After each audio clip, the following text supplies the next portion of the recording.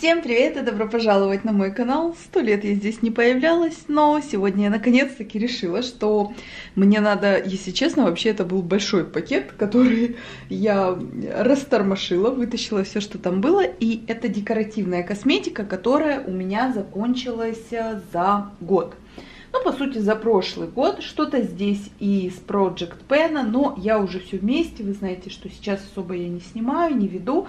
Но, тем не менее, моя любовь к собиранию вот этих всех баночек, она осталась, поэтому мне хочется отснять и рассказать вам о тех или иных средствах, которые у меня закончились, что мне понравилось, что не понравилось, что у меня уже на повторе.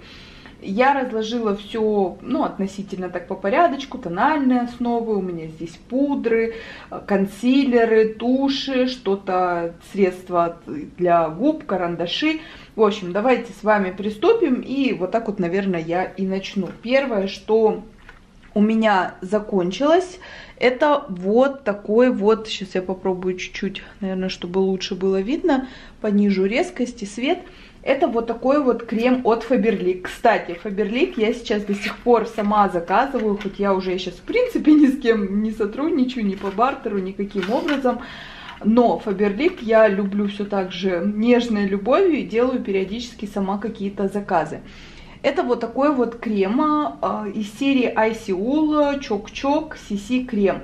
Здесь был SPF 15. Что касается самой этой тональной основы, то могу сказать, что в принципе она мне понравилась. Ну, во-первых, мне нравилась сама упаковочка, и что касается тонального основы, э, тональной основы, единственное, вот, наверное, даже это видно сейчас на, надеюсь, что это видно на камере, он темный, он прям вот окислялся, сильно, и мне он подходил неплохо летом.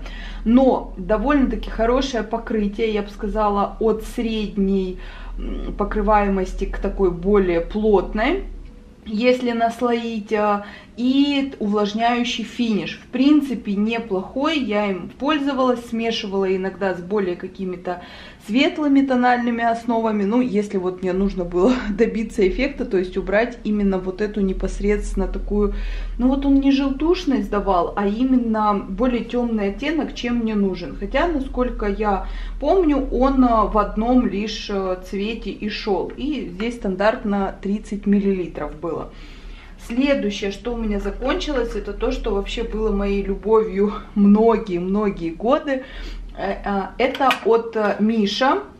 BB крем Perfect Cow в 21 оттенке, но это было такая, было лимитированное издание, и вот такой вот классный мишка. И у меня очень много раз на повторе был этот крем. Первый раз я его, наверное, попробовала еще лет ну, 9 назад это точно. И он классный, в нем реально высокий SPF, эм, если я не ошибаюсь, то здесь SPF, по-моему, даже 50, и, а, SPF 42, и он действительно хорошо защищал от э, ультрафиолета, но я в любом случае не выхожу из дома без, уже много лет, без э, крема с SPF, то есть не тонального, а именно отдельно. Очень хорошее э, покрытие, очень мне нравился финиш. Он и, то есть не было такого какого-то жирного блеска на лице и не матовый, а вот что-то среднее и какие-то прыщики, покраснения, те же пигментные пятна он неплохо покрывал. Я в любом случае все свои кремы, всегда вот любую основу, я сверху покрываю пудрой, закрываю, скажем так, я уже разучилась немножко говорить о косметике, вы меня простите, но в любом случае хочется поделиться своими впечатлениями. Я бы с удовольствием его тоже повторила бы, но чуть позже я вам расскажу о тональной основе, которая тоже в моей жизни появилась повторно, но я влюбилась, и сейчас, вы знаете, я часто покупаю что-то вот снова, то есть не ради того, чтобы, как раньше, да, рассказать на ютюбе, попробовать новинки, а то, что мне на самом деле вот очень-очень, допустим, зашло, и сейчас мне подходит и радует меня. Следующее это от доктор uh, Джарт. Это вот такой вот бьюти бальм, биби крем. И это вообще антивозрастной отбеливающий крем должен быть. Но здесь, кстати, такая, ну вообще туба он даже не продавливается, ничего, здесь дозатор очень удобный, но он очень-очень темный был. А, здесь э, тоже есть SPF, SPF 45, крем прям такой плотный. Это когда действительно нужно все перекрыть на лице, но в чистом виде. То есть он у меня где-то почти год лежал, потом я решила, что надо что-то делать. И я, наверное, вам сейчас покажу, с чем я смешивала. Это вот был как раз таки мой спаситель от Focallure. В чистом виде этот крем я не могла использовать, я на Алиэкспресс покупала, это Skin Evolution, и э, здесь тоже есть SPF 15, но как раз таки в нем э, было дело, проблема, скажем так, в том, что в чистом виде он лежал какой-то маской на лице и слишком-слишком выбеливал лицо. Хотя вот он кажется такой желтенький по оттенку как раз кожи, те, кожи подходит, но на самом деле он был очень-очень выбеливающий, и я вот так вот вместе смогла их использовать. Я немножко добавляла вот этого тонального крема как раз-таки в Доктор Джарт. И получалась такая классная комбинация, ну, потому что я старалась использовать, мне какие-то легкие кремы не подходят, потому что мне есть что скрывать, я постоянно борюсь с пигментными пятнами, которые то остаются, то вроде бы проходят, но факт в том, что вместе они супер работали, и покрытие прям такое получалось, ну, на самом деле плотное, но незаметное, как маска на лице не выглядела. От Фокалюр Air Fluid, он, кстати, тоже довольно-таки плотный, здесь еще где-то половина осталась, но я его выкидываю, потому что я все-таки, даже больше половины, я поняла, что после него у меня высыпание, прям очень сильно забивает он поры. Я сначала не могла этого понять, потому что пользовалась разными кремами, но когда я где-то, наверное, дней 5 подряд использовала его, я поняла, что у меня прям забита кожа, что у меня прям такие комедоны появились, и, к сожалению, да, по этой причине я с ним решила расстаться и убрала его в пустые баночки, хотя он неплохо перекрывал довольно-таки, я не скажу, что он увлажняющий, у него наоборот такой довольно-таки матовый финиш, и по покрытию, по финишу он мне довольно-таки нравился. Он единственное, если были какие-то шелушения, он немножко в них проваливался, а так был неплох. Но все, понятно, что высыпания мне не нужны, я его выкидываю. От Faberlic, кстати, очень неплохой крем, который мне понравился. Neo Serum Foundation. И единственное, наверное, выкинула упаковочку. И не помню, здесь в одном оттенке или нет. 6174 артикул. А, здесь а, помпа, тоже дозаторы. В прошлом тоже почти во всех них а, помпы дозаторы. И мне нравилось, как поднималась вот эта помпа. И было видно, сколько его еще осталось, сколько закончилось, соответственно. Крем средний по покрытию, он не плотный, но и не слишком легкий. Я всегда его использовала вместе с консилером, но такой неплохой оттеночек был, он увлажняющий был по сути. И в то же время несмотря на то, что вот он увлажняющий, он не, не жирнился на коже, как-то неплохо он сидел, но единственное, не слишком долго. То есть порой, когда, допустим, у меня там 12-часовой рабочий день, то к вечеру я уже видела, как он исчезает на коже, особенно на крыльях а, носа, но в принципе он неплох. Крем, который я в чистом виде тоже не смогла использовать. Я его смешивала с более жирными текстурами кремов. По-моему, с тем же Доктор Джар, да, когда у меня фокалюр закончился, я стала использовать его, подмешивать.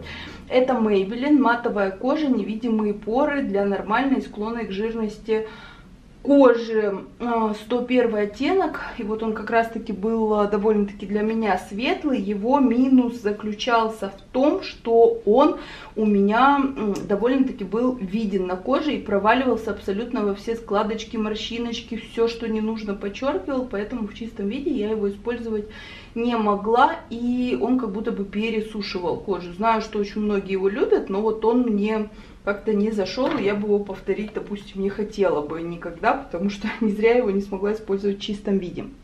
Следующий крем это Люкс Визаж, и это программа антистресс CC. Крем 01 оттенке, кстати, очень неплохой э, крем, он чем-то похож на первый Чок-Чок от Faberlic.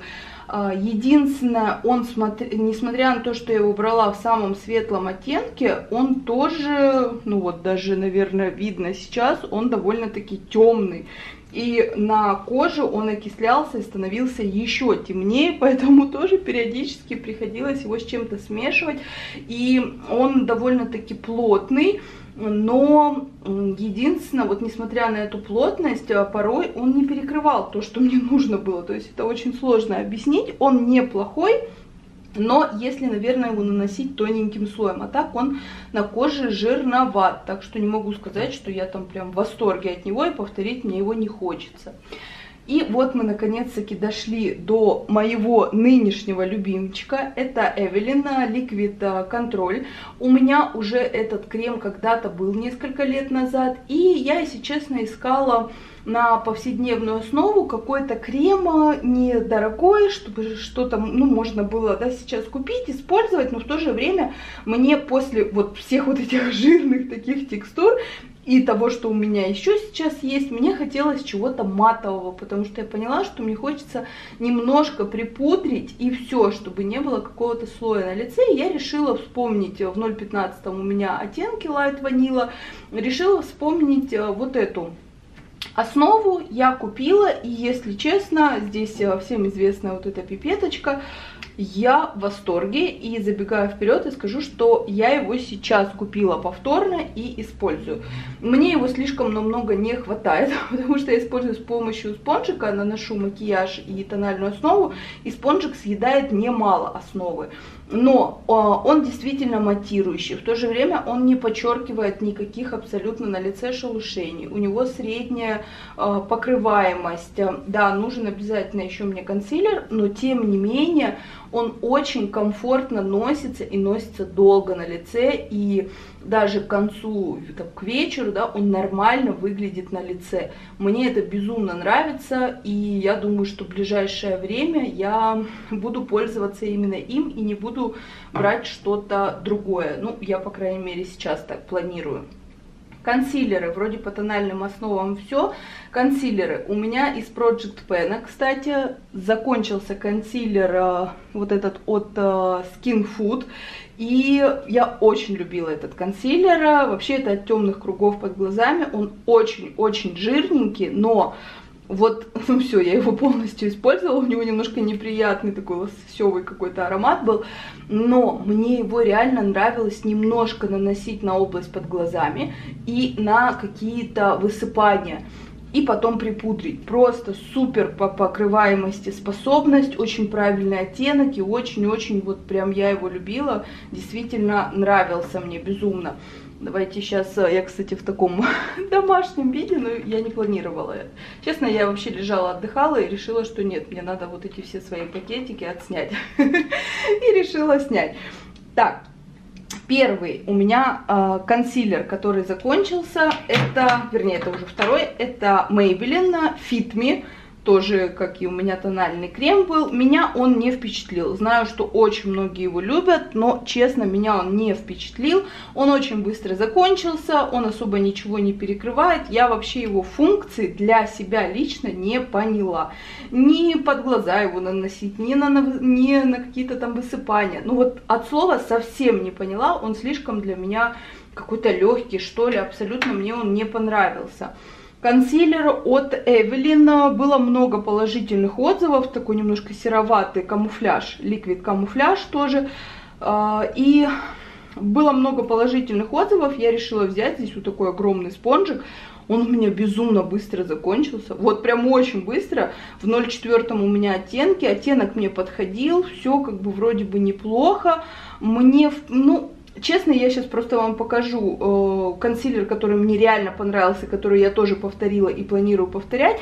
Поэтому этот меня не впечатлил. Да, вроде он как бы перекрывает что-то, но под глазами он немножечко пересушивает.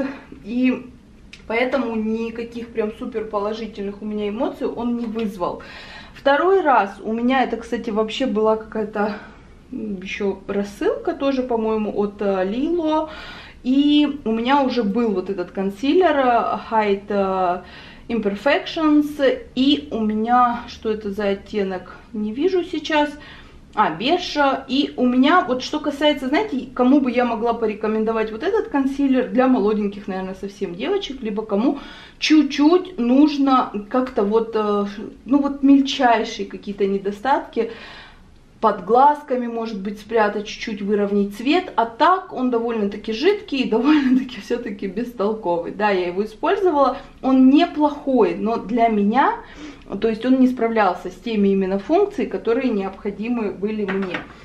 И мой просто вот, он покорил мое сердце, реально. Это Evelyn Cosmetics и это консилер T3 из серии с чайным деревом. И у меня это оттеночек, сейчас я найду, по-моему, 0,5, если я не... 0,10. И это антибактериальный вообще консилер, и у него а самое обычное вообще он стоит рублей 150. Я его на Яндекс Маркете уже вот сейчас заказала второй раз, уже использую и дальше планирую пользоваться им.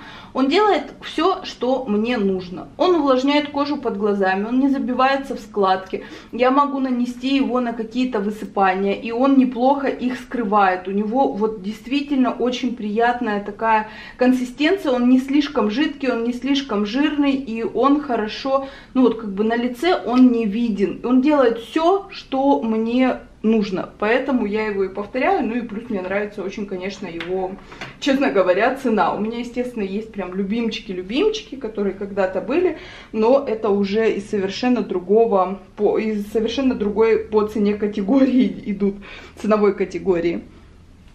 Так, двигаемся с вами дальше. Давайте теперь, наверное, поговорим про пудры. А, первая пудра, которая у меня закончилась, если честно, я думала, что мне ее хватит очень надолго, но этого не случилось. Это Лора Мерсье Translucent, знаменитая пудра, когда-то прям нашумевшая, здесь 29 грамм, казалось бы, такая большая баночка, но вы знаете, она, я просто, я тут ее расковыряла, я все вытащила, все использовала.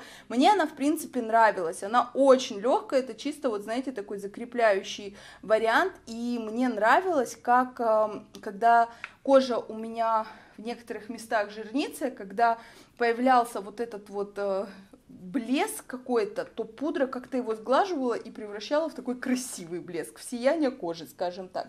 Пудра неплохая, но, конечно, я сейчас такую не возьму, не закажу, довольно-таки дорого, тем более я сейчас для себя снова открыла пудры, и я вам покажу, одна из них есть у меня здесь, то, что вот реально мне подходит и довольно-таки бюджетно. Следующая пудра, это было в Project Penny, Faberlic, это вот такая вот пудра, которую можно наносить двумя способами, способами, влажным, сухим способом. Я наносила только сухим, и, ну, честно, она меня особо как бы не впечатлила, она довольно-таки плотная, она по оттенку для меня была белесой, и на лице она была видна, как бы мне она, в принципе, особо не понравилась, но не настолько, скажем так, чтобы я вообще выкинула, но, тем не менее, нет, повторить, конечно же, у меня желание ее не возникает, и я этого делать не буду. А, следующая пудра это... Вернее, это у меня закончилась запаска, но у меня так как пудра сломанная, сейчас я, кстати, она у меня в сумочке лежит, она в коллагена, увлажняющая пудра, пудра классная, сама по себе реально, ну, у меня вот здесь, как я уже сказала, здесь лежит именно запаска. Пудра классная, но хочу предупредить, если вдруг вы не пользовались ей, что она плотная она, конечно, очень плотная, и если вот использовать только пудру, я думаю, классно будет, кто пользуется только пудрами без тональных основ. А, потому что в ней и SPF есть довольно-таки высокий, и по оттенку она хороша, и как бы по стоимости здесь SPF 25, по стоимости она выходит выгодно, потому что продается пудра, и еще идет в комплекте всегда запаска, и она такая плотно прям спрессованная, ее хватает надолго, как бы все в ней хорошо, но именно с той целью, что использую я для закрепления макияжа, все-таки она плотновата. Хотя я как бы и дальше пользуюсь, но вот прям купить сейчас бы мне не хотелось ее, например, снова. Но, как говорится, да, вкусы меняются. Следующая пудра, которая вот прям вообще, я ее обожала, девочки, я ее настолько сильно любила, это Wet n Wild. И, кстати, я не смотрела, может быть, где-то на Wildberries, на Озонах, там Яндекс.Маркете она и продается, надо, кстати, посмотреть. Это Loose Setting Powder, и, и это прям вот фотофокус, это прям офигенная реально пудра. Она настолько красиво смотрелась на лице, то есть я тоже закрепляла именно непосредственно ею макияж, она с, с таким эффектом блюра, и абсолютно невидимо, и в то же время вот этот блюр, ой, просто, просто моя любовь, мелкодисперсная, классная, очень сильно ее любила. И я сказала, что я для себя сейчас открыла снова пудры, непосредственно тайские. Когда-то именно в Таиланде, в далеком уже, можно сказать, 2018 году я с ними познакомилась, и мне нравятся они, в принципе, абсолютно все. Это у меня закончилась а, пудра, которая была такая розовая, с эффектом сияния она, ну, по сути, то есть они продаются тоже на всех вот этих Вайлберсах, Озонах, Яндекс.Маркетах и так далее. Можно найти от 300 до 400 рублей. И, девчонки, ну вот мне очень нравится с той целью, что использую я для закрепления макияжа, именно непосредственно тональной основы, мне очень-очень-очень нравится, я пересыпаю в какую-то вот такую закончившуюся баночку и использую. Здесь большой объем, а, нужно немножечко совершенно, главное не переборщить, иначе будет виден цвет, если она белого, розового, синего, они разных абсолютно цветов, есть, конечно, и телесного, но она хорошо именно закрепляет, и кожа потом у меня не жирнится, хорошо выглядит, и стоит это недорого, и все в ней реально хорошо, не забивает поры, я обожаю. У меня сейчас еще парочка осталась, и когда вот я все доиспользую, я планирую покупать именно вот эти пудры Pounds. Бронзер из Project Pen, кстати, от Эльф у меня закончился. Ну, долго я не хочу останавливаться на нем, я думаю, что на iHerb мало у кого из России есть сейчас доступа, я брала именно там. Очень красивый, кстати, был бронзер. Я вам о нем рассказывала, у меня был он в оттенке ОМ. Очень такой красивый цвет был, так классно смотрелся на лице, я его прям действительно любила. И сейчас я, наверное, немножечко, ну или буду дотягиваться. Сейчас вот так вот сделаю. Секундочку чтобы мне было удобненько вам все показывать, что еще не показала. Просто к себе придвину, у меня микрофон стоит с другой стороны. Итак, давайте поговорим про глаза. Ну, теней у меня здесь нет, кстати, закончившихся, но база под э, тени от Smashbox. И, вы знаете, я помню, когда я ее покупала, я еще думала, брать, не брать, на iHerb, как сейчас помню, заказывала. Она стоит недешево, она хорошая, на ней действительно и тени лучше проявляются, и дольше держится, и ничего не скатывается, все как бы хорошо, но я вам скажу честно, я нашла для себя а, сейчас, вернее, вновь открыла от Art Deco когда-то лет, наверное, 12 назад я ее впервые попробовала, и сейчас вот второй раз уже беру. Вот сейчас буквально вот-вот на днях закончится у меня. И стоит гораздо дешевле, то есть если та около 400 рублей, Smashbox сейчас я даже не знаю, сколько стоит, но за тысячу явно. Как бы ничего абсолютно для меня особенного нет, и желания, знаете, я не страдаю, что сейчас я ее снова там не куплю. А, далее, моя любовь, просто, девочки, очень рекомендую, если вы хотите красивые реснички, это использовать праймеры. Обожаю вот этот праймер от Evelyn SOS Lash Booster и их э, праймер, который такой бело-зеленой упаковочки, но мы, вот этот лучше, этот гораздо лучше, это прям крутой реально праймер. Во-первых, э, ресницы ну, так скажем, дополнительный уход. Я помню, как мне восстановить ресницы без всяких каких-то дорогих там сывороток средств после того, как я сняла нарощенные, помогли именно вот такие вот а, праймеры.